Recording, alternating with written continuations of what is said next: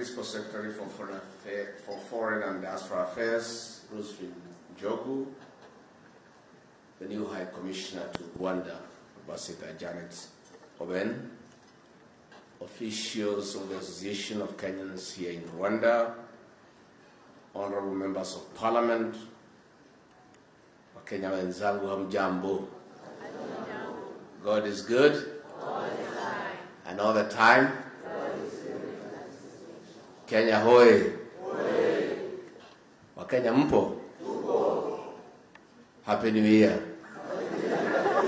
Happy Easter. Habari ya kung'ang'ana? Hata sisi. Um, I'm happy to join you today on this engagement in honor of our diaspora based in Rwanda. This platform presents an opportunity for us to have conversations that touch the core of government's agenda, listening to our people and availing opportunities to them. I bring greetings from President William Ruto, who has sent me here to represent him in the 30th commemoration of the 1994 genocide scheduled for tomorrow. And as such, I committed to having a discussion with fellow Kenyans living, working, and studying here in Rwanda, which is a deliberate policy of our government. That is why President William Ruto, on ascending to the high office and on forming government, decided to create a full-fledged State Department of Diaspora Affairs so that we can have this engagement and appointed our very able Principal Secretary, Roseline Njogu, to head that particular State Department. Before I say a few things so that we can have an engagement, the government of Kenya, led by President William Ruto, is a government of engagement, continuous engagement. The President and I are very deliberate in engaging Kenyans because we don't know everything. In fact, we know very little. The President tells us, and we agree, that a good idea should give room to a better idea, and a better idea ultimately must give room to the best idea. This can only be done when people engage. We like to do more listening and less talking, and I'll therefore be inviting you for a discussion. But before I do that, let me introduce the Kenyan delegation that has accompanied me here so that you know who is in the house. To start with is our PS for Diaspora Affairs, Roseline Njogu. Please stand up and wave. Pigeni hema coffee. Thank you, PS. We have the Honorable Owen Baya, the Deputy Leader of the Majority in Parliament, and the Member of Parliament for Kilifi North, and our political kingpin in the Kilifi County. We also have Senator Veronica Maina, nominated Senator from Murang'a, and formerly the Secretary General of UDA party, the ruling party. We have the Honorable Patrick Munene, the Member of Parliament for Chuka Igambang'ombe, and the Vice Chairman of the Health Committee in the National Assembly. We have the Honorable Julius Ruto, the Honorable Member for Kesses, Uasin Gishu County, Pigeni Makofi. We have the Honorable Parashina Samuel, the Honorable Member for Kajiado South, that is Loitoktok, mtu ya pale kwa mpaka. Muone kado wanajua mambo mingi, watu wanaishi kwa mpaka wanaelewa mambo mingi. We have the Honorable John Kagushia, the Member of Parliament for Mukurweini in Nyeri County. We have the Honorable Ambassador Benjamin Langat, the Member of Parliament for Ainamoi constituency in Kericho County. We have the Iron Lady of Narok, the Honorable Pareyio Agnes, the Member of Parliament for Narok North, Mama Wanguvu Sana. We have the Honorable Charles Kanyi, aka Jaguar, the former Member of Parliament for Starehe, he of the Kigeugeu fame. I also, in the course of duty, have been giving public lectures in our public universities to mentor our young people. And in the process, I invited some leaders from two universities to come with me so that they get exposure and get to know the world. I have Justice, Justice Jambani, a student leader from Raga University. And I have uh, Francis Mwangi, a student leader from Pwani University. Uh, from the onset, I wish to mention that the Kenya Kwanza government has a vision for the diaspora, which is to bring you to the center of our policy, programs, and initiatives beyond the discourse of remittances. As a government, the security and safety of all citizens our foremost is our foremost commitment and most fundamental obligation. Uh, that is why I stand here proud to see you all and to confirm government's deliberate efforts to provide structures and systems that protect your welfare and rights, and also to work with you and support you to harness the immense potential of Kenyans in the diaspora for the socio-economic development of our great country. I can also confirm that the government has expanded digital provision of public services to encompass 14,000 services, and it is our commitment to ensure full digitization, which has not only enhanced efficiency and integrity in the provision of efficiency, uh, in the provision of government services, but also improved revenue collection. In addition, some of these services have been taken closer to the diaspora through the mobile consular service exercise that we rolled out and has now covered 22 countries and served over 9,000 Kenyans abroad. The State Department of Diaspora Affairs is currently implementing phase three of the MCS, and I'm aware that the team was here in Rwanda last week, and I believe you are served well, and I have noted your request that they come back for another four days. So PS, you are directed to make sure that they not only come for four days, but a full week. I am also aware because I make it my business to know what goes around. That when they were here, there were a few challenges on the, net, on the network with Kenya. And some of you made payments and have not received the services. And I've already directed the PS to make sure that those who make payments are served promptly so that you enjoy the service. And uh, our PS is very proactive. I'm sure she'll do exactly that. The government has also developed the global labor market strategy that will facilitate the securing of jobs for our citizens abroad. This strategy is part of the interventions to create safe migration pathways for our people. Our target is to have this skilled human capital secure job opportunities abroad, especially the youth who are creative, innovative, skilled, and ready to explore the world as they work. Indeed, as I walked in, I came through an exhibition displayed by our Kenyan people. And the level of creativity and innovation is on another level. Kenyans are great people. We know sometimes being away from home is challenging, but I know Kenyans, we Kenyans are resilient, and I want to implore you to come together to share experiences, offer guidance, and provide mutual assistance and support each other. That is why I didn't want to applaud the officials organization of Kenyans in Rwanda for bringing our people together to network, to comfort each other, to watch each other's back, and always be there for each other. Because when you are away from home, you need Kenyans around you. So I want to encourage you to continue strengthening the association Kenyans living here in Rwanda.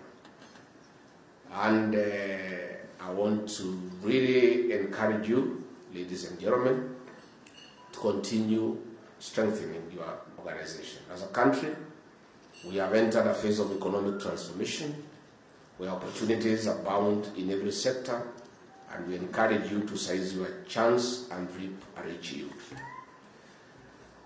As the diaspora, your reputation as Kenyans in Rwanda is well, as hard work, innovation, and commitment to excellence have not only propelled your personal success, but have also made a positive impact in the companies and organizations you are in. In fact, the last time I was here, I paid a courtesy call President Kagame, and he was full of praise for the Kenyans who are here because he said they are very well behaved and they are law abiding and they are good people. So please continue. Although a few I am told are in prison and you want them to come back home.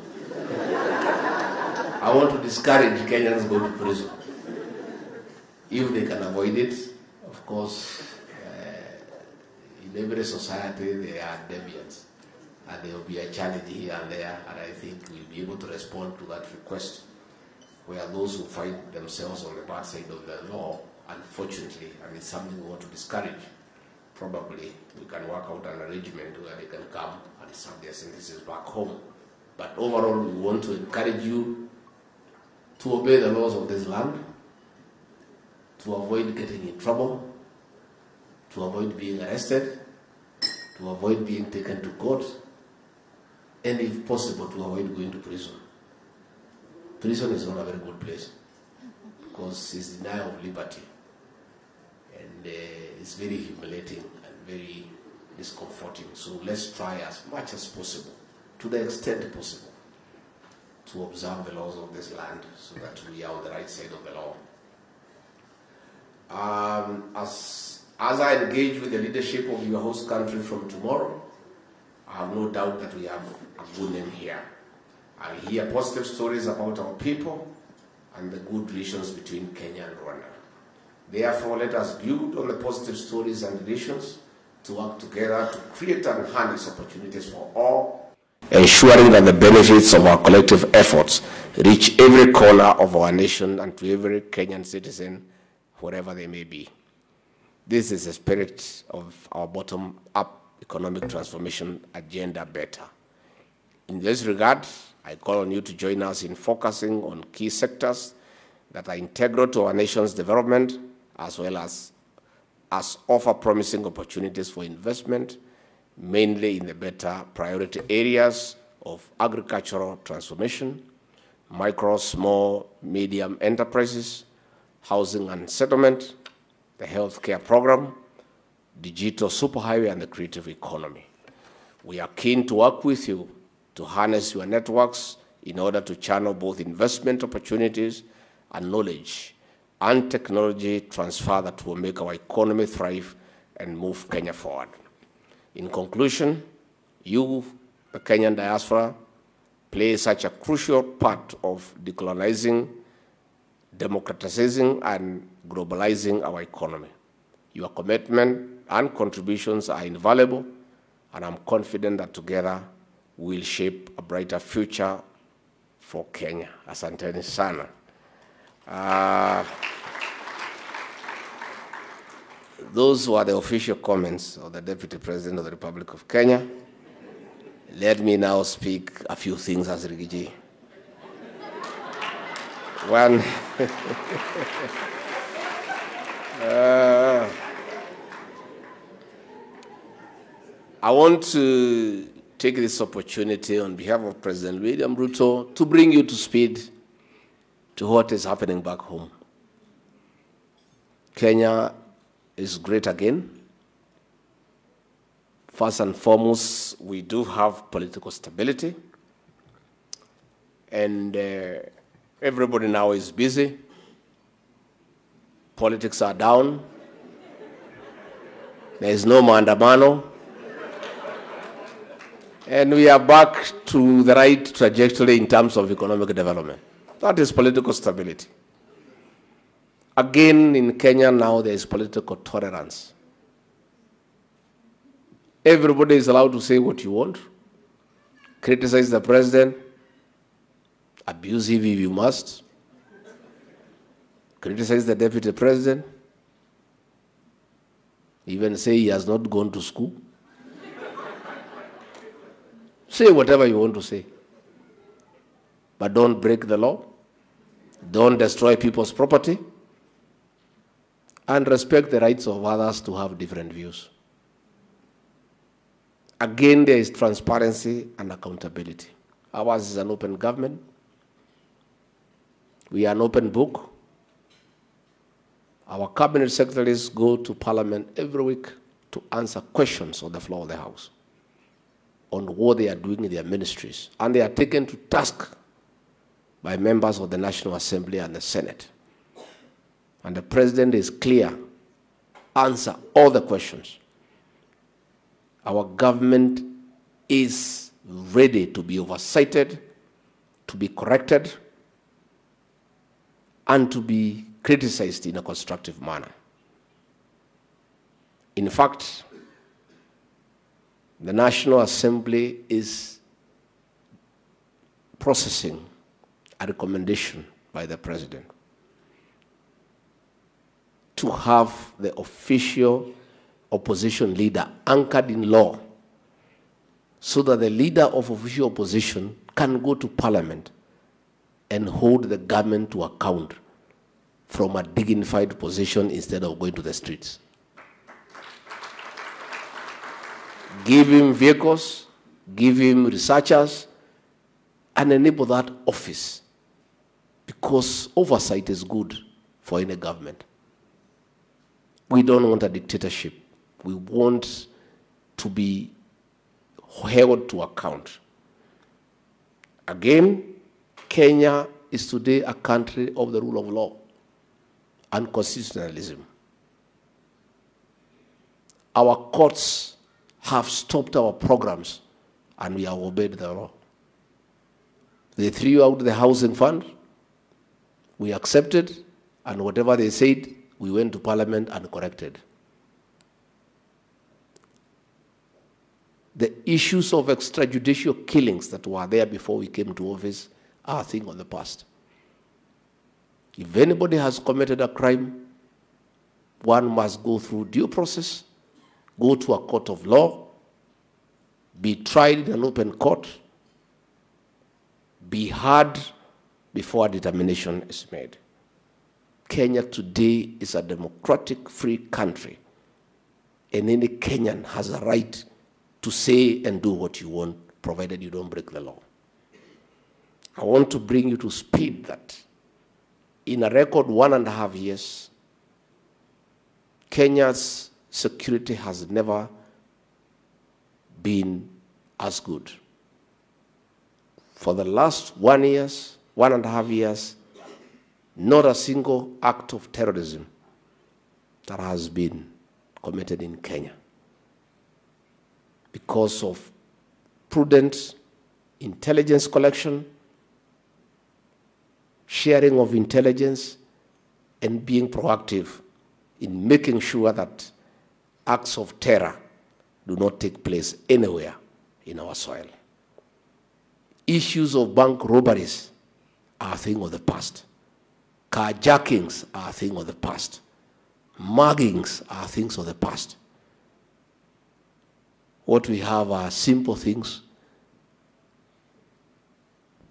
of men fighting women,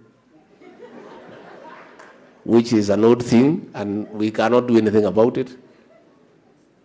Few domestic quarrels here and there, a few petty thieves, some people borrowing money and refusing to pay, others conning others. Even some of you have been conned. You send money home, somebody says they are building a house for you. They take the photograph of the neighbor's house and they say it is yours. Those are normal petty crimes that are taking place in Kenya. They are called misdemeanors. But in terms of felonies, we have a very able Interior Cabinet Secretary, Professor Kithure Kindiki. The issues of banditry in North Rift have been contained to a large extent. The insecurity in Lamu has been addressed. Insecurity in Laikipia has been addressed. Kenya has never been more secure. And that will continue so that people live in peace, so that we create the right atmosphere for economic development, and we create a good environment to attract investment and tourism. Again, in one and a half years, President William Ruto had a very prudent management of economic transformation, getting the right advice, consulting, reaching out, thinking through, putting a lot of hard work. The economy is showing great and visible signs of recovery. The dollar that was 100 at 66 shillings is now below 130. The Kenyan shilling is strong. When we came in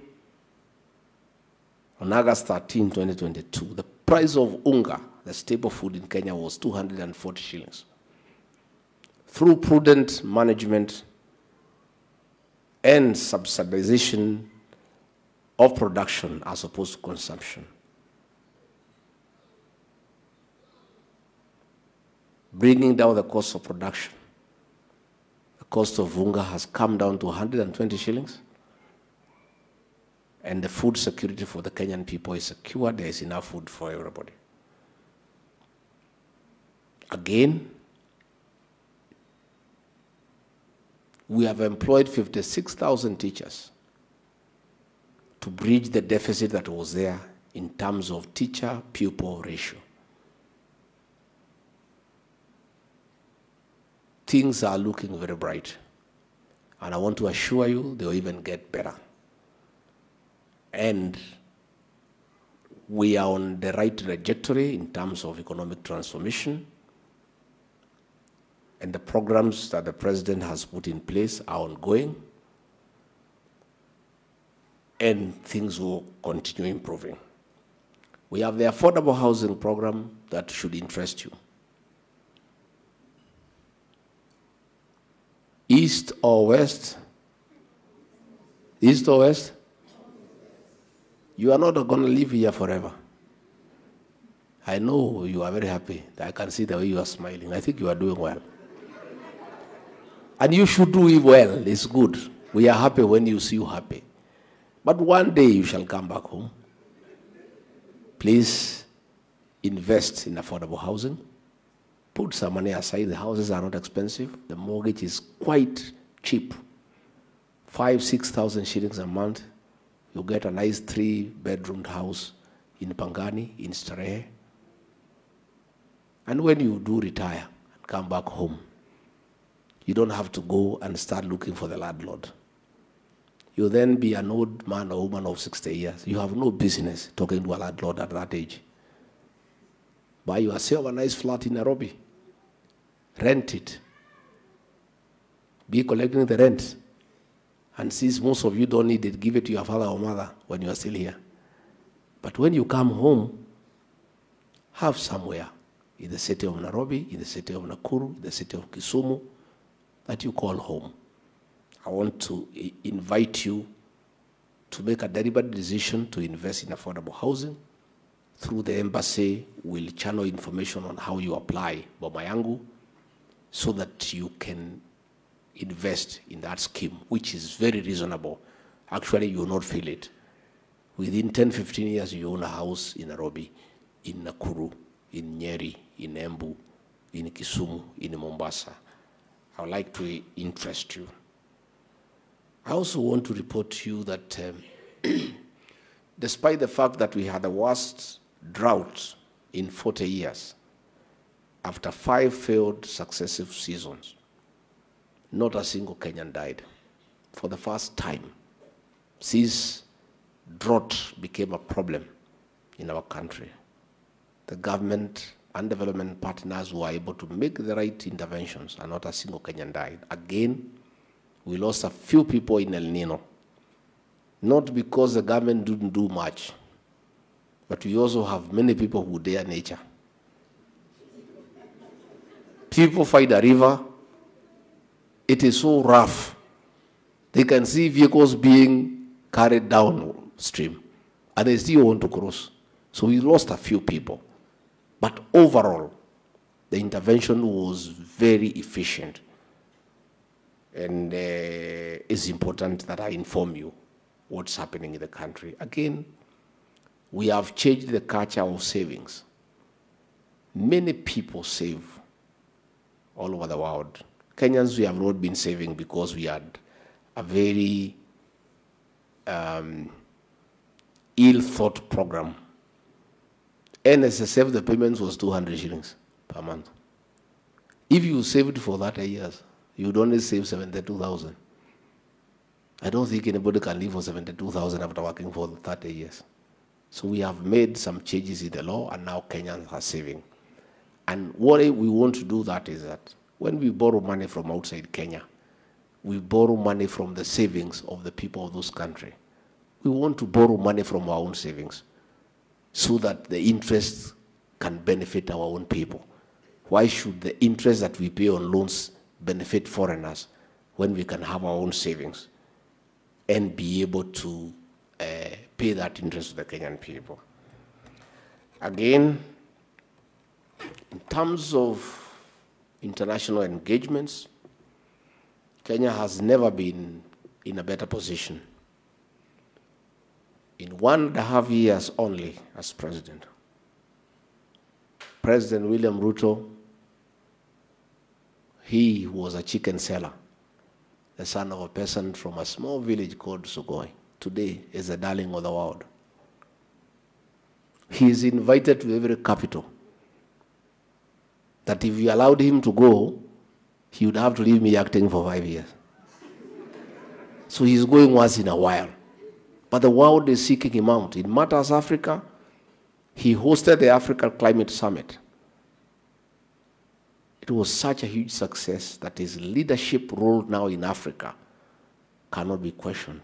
He's truly now the real leader of this African continent. He's been to every capital in the world, from Tokyo to Brussels to Paris to everywhere.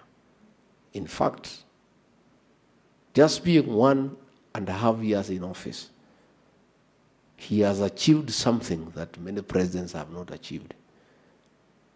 He has been invited for a state visit to the United States of America on May 22 this year. That is next month.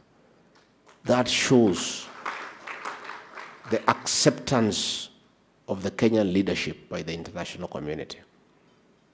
And as a result, many interventions have been made. IMF is listening to us, the World Bank is listening to us, world giants like China are listening to us, France is listening to us, and the president's diplomatic um, approach is paying huge dividends. And the state visit to the US in May, around May 22nd, 23rd, will be a very clear signal to the rest of the world that Kenya is around and is a country that can no longer be ignored. And that is good for our country. So I just wanted to give you hope and tell you mambo si mbaya, mbele iko sawa, tuko sawa. And uh, the people of Kenya went to the ballot, and we are persuaded as a country that we made the right decision. We elected a president who seems to know what he's doing.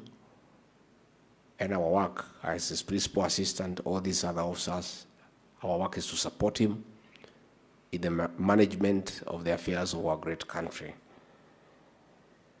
Uh, I want to respond to a few things that you asked, and then we can open the floor.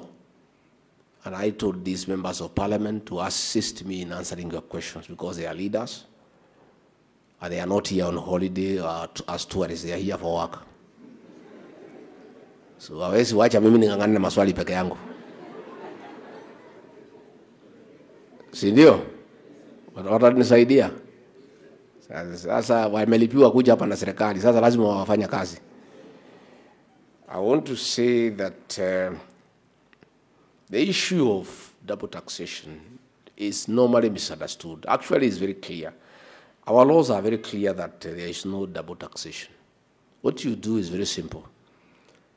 Once you pay your taxes here, file the same with us, with the KRA, so that we have the record that you have paid. And then nobody will tax you again. It is that simple. And I think we'll uh, ask and the National Treasury to give the right information to the embassy here, the mission, so that it is given to you, so that you know exactly how to go about it, so that we don't uh, get worried again that you can be asked to pay tax twice. Once you have paid tax here, that should be about it. And that is something that uh, will, will, will create more, more information so that uh, that information can help you. Again, uh, you have raised the issue of pension fund, that it stays here and then you need it. I think uh, our new Balozi here, very strong lady, and uh, I'm happy that she has started well. And when the president sent her here is because of his acknowledgement of the importance of Kigali and our relationship as a country. And we needed to send somebody here who is sharp, available, and engaging. I think this is something in our discussions with the Rwandese government, uh, but also we continue discussing how we can create a framework because it's doable. Please work on it. Again, the issue of the prisoner exchange program, although I want to discourage us from going to prison, let's try as much as possible. Hii mimi. Siku mbili, tatu, ine namna hii, mimi nang'ang'ana, natoka, naingia, narudi. Lakini sasa niko hapa. So let's avoid, but let's work on it. Again, on the waiver, uh, the way you have explained, let's also, Balos will work on it. The consular services, I have said the PS will send people here to come and complete what they did not uh, complete so that we can uh, get better. Again, on the, uh, the plot limitation, on the reciprocity of uh, property rights, again, that is something we'll discuss here with the Balozi so that they work on it. And uh, of course, the issue of love and marriage, the one PS has talked about here, is good. Love is sweet. Please marry these girls here. No problem. Lakini watoto ni wetu, si ndio? Watu waoane, hakuna shida. Iko makosa gani? If you get a nice, beautiful girl, loving, caring, hardworking, weka kwa box, peleka nyumbani. So I think uh, PS, we have a responsibility to help these people marry.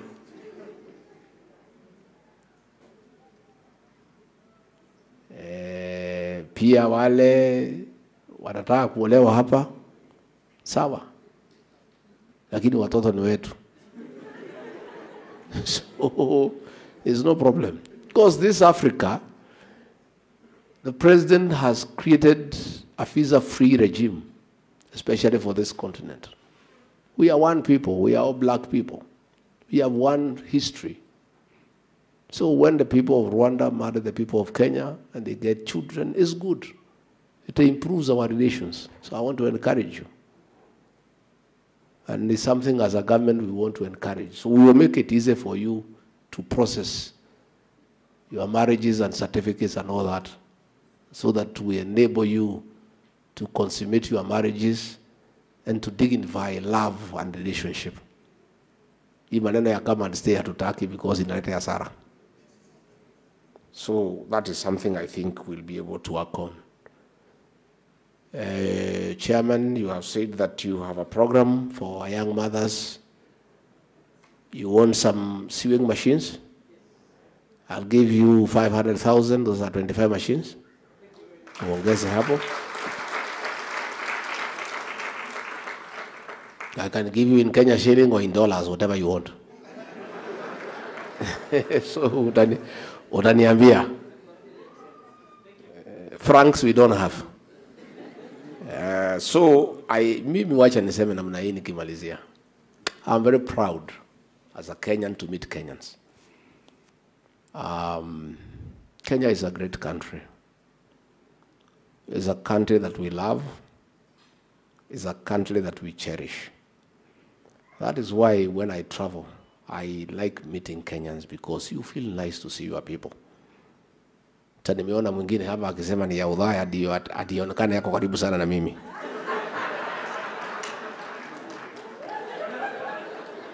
That is how we as Kenyans love each other. You know, you want to see somebody you feel hii ni mtu wa kwetu, si ndio? Unasikia mzuri. So last time tulikutana pale kwa nyama choma. I'm so disappointed nasikia ati ilifungwa. What happened? Is it still operating? Bas, waheshimiwa, sasa mtajua kama tutaenda huko pato, lakini msiende kukunywa ile kitu kingine, sababu nyama peke yake eh? Sawa. so I, we had a very nice nyama choma session there. It was not this formal, but it was very interactive. Hata huyu mzee ya nyumba kumi anasema I promise him something. Utanikumbusha hata siwezi kumbuka. Kama nilisema nitafanya. Yeah? Si ndio? Bora usiniambie urudi nyumbani, nataka uketi hapa. Usikuje kule. Umewa hapa. Pa, pale tume pale tumeshikana kidogo. Kae kaeni hapa kidogo. Mkae kae hapa kidogo. Mkipata pesa mnatuma huko. For now. Alafu miaka ikienda ndio mtarudi. Lakini for now pale tumejaa. Mkae kae hapa. so finally the only challenge that we are having in Kenya is drug and substance abuse. I hope you don't have this problem here, especially among the Kenyan people. Pale, for the last 10 years, people are producing poison, labeling it alcohol and selling to our children. We are losing an entire generation. Vijana wetu walikuwa wamekuwa bure, wanalala kwa mitaro, wamekunywa pombe, wamekwisha. Transformer zote zimesimika. Hmm? Fika pale, kijana ameoa juzi, ameoa msichana mrembo, mrembo amelala kwa kitanda, kijana analala chini ya kitanda. That's the situation we are having. So as a government, we have become extremely rough on those characters. We have shut down all those factories and distilleries. We have vetted them. And out of 56, only two has qualified. Those ones we are going to reopen. The rest, we have given them conditions. I don't think they can meet those conditions. And we have shut down bars next to schools. We have shut down bars in the residential areas. And we have said we go back to alcohol the one we knew. Ile ilikuwa inatangazwa kwa redio zamani baada ya kazi. Sasa tulibadilisha ikakuwa badala ya tumesema hakuna kunywa mchana, hakuna. You drink from 5 pm to 11. Uende kwa bibi yako, kama huna ujue utaenda wapi. But this drinking during the day we are saying is not acceptable because people must go to work. How do you drink during the day? When will you work? So you drink two, three, four, five hours, go and sleep for seven hours, wake up sober, and go to work. So that one, we there is no letting off. And I can tell you, we are 80% successful. Young men now are looking clean. Women are happy. They are saying the men are coming back home. They are not complaining of backaches anymore. So mambo iko sawa. Things are okay. One day in Kirinyaga, we lost 23 people in one village. And another 30 went blind. One village called Gagai. I was in Muranga the other day. I went to visit a mother. She had eight children, seven sons and one daughter. She showed me seven graves for her sons. She was left with her daughter. So we have decided, the president has decided, and I'm supporting him and Professor Kindiki, that we must bring sanity to the Kenyan nation. And we cannot let drugs and alcohol take over our country. So that's the only small challenge we have. Otherwise, the rest of things are going on okay. Fitina kidogo kidogo, hiyo inaendelea. Mambo ya udaku, village gossip. Those are the only small challenges we're having in Kenya now. And they are, they are good things also. If there is no gossip in the village, that is not a village. Oh, who married the daughter of who and who, who, who impregnated so and so and ran away. Hiyo maneno kidogo kidogo ndio iko pale sasa. But most of the things are back on track. So I want to assure you, your country is good. It's under the able leadership of President William Ruto. There is political stability, there is economic development, the country is secure, we are respected all over the world. What remains for us to do now is to work on the diaspora. You guys work hard, remit your money back home, invest back home, set as a foreign currency. We are working on a diaspora board where you can invest money and the government guarantees the safety of that money. That is all that is remaining. So I'm here to assure you that you have got a good country. So just stay here knowing very well that when you want to come back home, pahali yenu nyumbani iko mzuri, na tunangoja nyinyi siku mtakuja, lakini sio saa hii mkaekae hapa kidogo mfanyafanye mtuletee pesa kidogo, then we work together. So let us now have uh, a few questions. I think, do you have a microphone? Um, get a few questions. I'll answer some, peers will answer others. Owen Baya, the leader of uh, majority in parliament, namna hiyo, wanisaidie.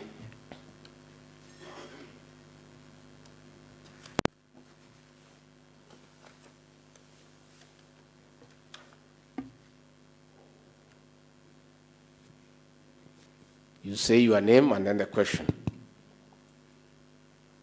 All right, we'll, we have two microphones on, on the two sides. So if you raise your hands, the, they will attend to you. We'll start there. Niko na kaswali moja tu. Asante sana. I think I should thank you for the courage that you've given us. I, uh, my name is Daniel Koech. Daniel Koech, yeah? Yes, uh, my question concerns the question of uh, agriculture. Yes, One of the issues that has been coming up is the issue of uh, fertilizer. yes, Some of the money that we do make here, we send to our mothers, our fathers, our uncles to plant uh, uh, wherever they are going to plant. yes, And you said that uh, we, are, we, now, we, we are now food secure. yes. So my worry is that uh, with this uh, issue of uh, fertilizer, which I know it is being addressed, but uh, quite a number of it has uh, been distributed to farmers. And you said that we are now food secure, which I think is because of the uh, subsidy that you gave in the fertilizer last year.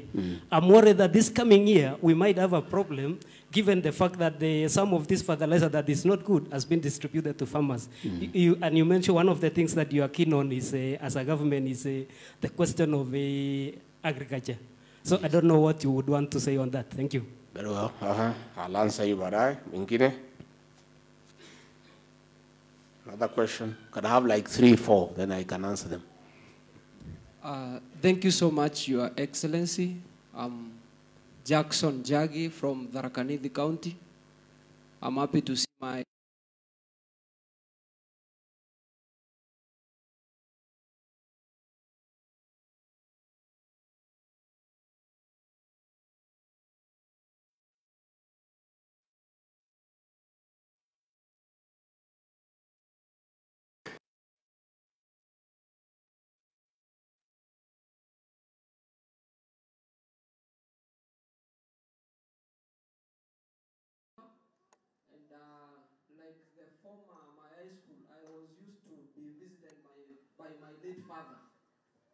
So when you are visited and I written submit, nimefurahi sana. Ka pocket money tu ndio baba alikuwa ananiachia. My second concern My second concern is about uh, the council. I think uh, the High Commission will respond.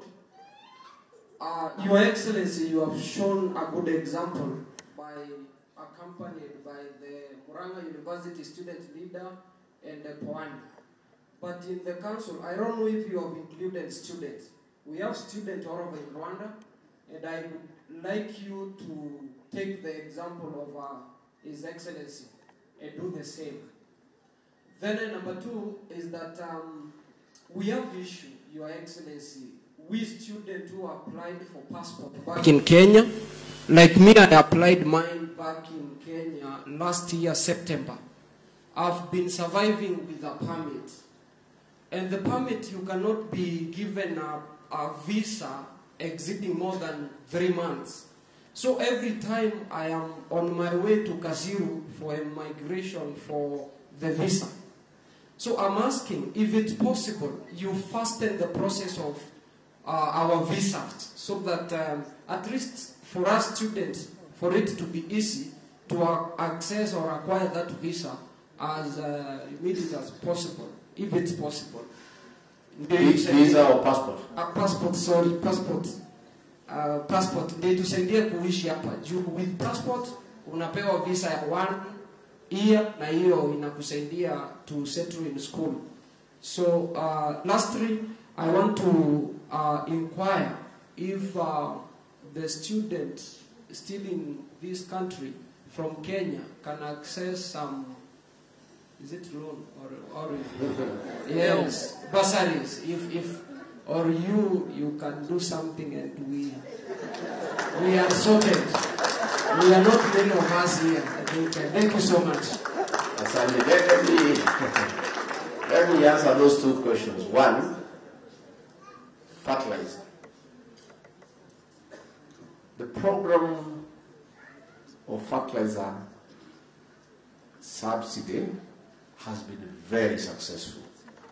When we came in last year, this fertilizer never used to reach the people. And we had a program that we did with the National Government Administration to register all the farmers in Kenya. And we registered over 5 million Kenyans. And we created an e-voucher system where we registered all the farmers, the farm, the type of crops, acreage, and it went very well. And when we came in, the cost of fertilizer was 7,000. We reduced it that year to 3,500. As a result, we used to produce 40 million bags of maize. We did over 66 million bags of maize. And because it was very, very successful, we reduced further to 2,500 this year and gave many suppliers. The issue of the reported fake fertilizer is a small issue because the quantity involved is negligible. You know in an exam 70% is A. So we have imported over 4 million bags of fertilizer.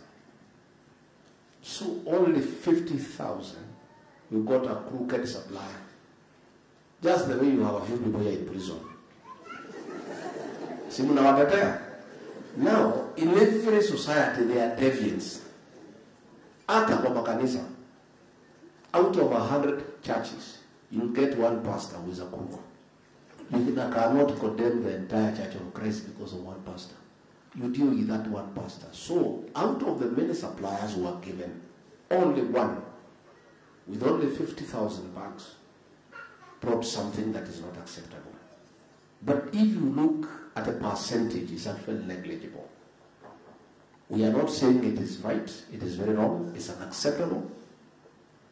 And our security and investigative agencies have swung into action. And people will go to court. But that those 50,000 bags cannot interfere with our food security because the percentage is little. We'll be more careful, we'll be more vigilant in future because the first phase was very successful. So the crooks came up with, because crooks always keep up with the developments. So even next year we may do something different. But we have to keep on, we have to keep on uh, working on how to stop people being mischievous. So it's a small matter, but however small, it is bad. We condemn it in the strongest terms possible, and we ask traders and business people to be patriotic on matters like fertilizer and no other matters. But it's a matter that we are dealing with, but I want to confirm it cannot interfere with our yield for this year. Already many farmers have received the right fertilizer. They are planting. The rains, by the way, are very heavy. We came, there was heavy rain everywhere in the country, and that matter will be addressed. Uh, Njagi, uh, yes, you have eaten well, that is good enough. The little that I had, ndio nimepeana kwa hii uh, sewing machines. You can negotiate with the chairman.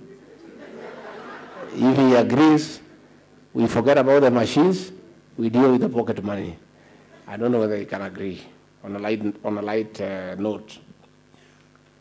Passports delay is true. I want to admit, because we are an open government, that we have had a challenge with our printing machines because they were old and out of date. You know, with the cybercrime that is current internationally, we need to print passports that are security, secure, and foolproof. And we need modern equipment. And we have been having challenges with the old equipment that was very old and breaking down all the time. So there has been a delay. But I want now to assure you that uh, we have put uh, into motion a process to acquire modern equipment. is ongoing. And in another 45 days, we'll be printing passports, many of them in record time, and we'll be able to clear all the backlog by the end of the year. And from there, there will be a lot of efficiency. And uh, that is a commitment that I want to give. And definitely, when that happens, uh, we will liaise with the mission, they have noted, so that we give the students priority so that they are able to process uh, their visas.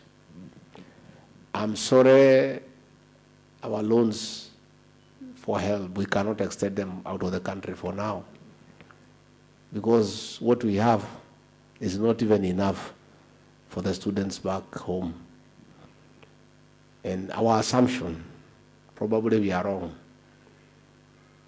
is that if you are able to move from Kenya and go to another country,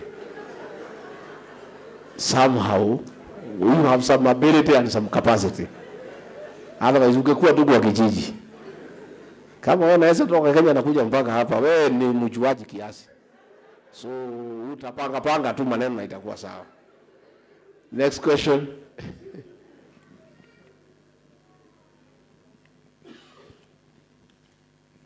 Uh, my name is Peter Karanja uh, from Nakuru.